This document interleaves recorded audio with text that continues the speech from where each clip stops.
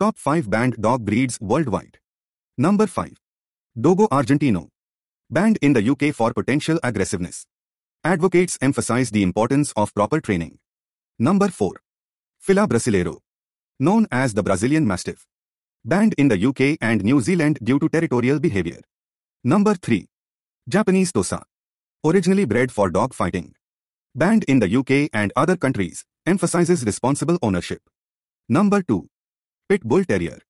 Faces breed-specific legislation in various regions. Advocates challenge stereotypes and argue for individual temperament consideration.